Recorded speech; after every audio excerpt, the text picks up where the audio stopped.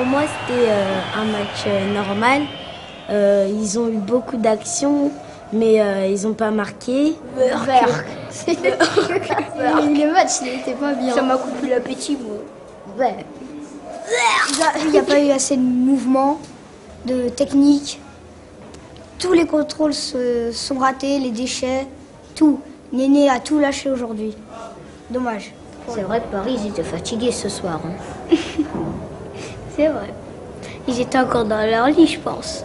Aujourd'hui, c'était une journée très particulière parce qu'on a quand même accompagné euh, de grands joueurs. Rentrer sur le terrain avec des bons joueurs, c'est exceptionnel. Beaucoup d'émotions, tout ça. Un jour inoubliable.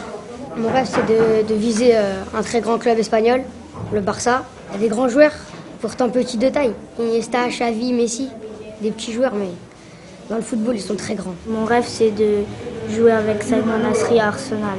C'est d'intégrer le Paris Saint-Germain. Devenir euh, avocate. Le rêve de ma vie.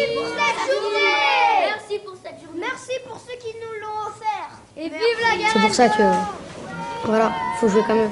faut jouer euh, en équipe, surtout en équipe. Et ça fait le football.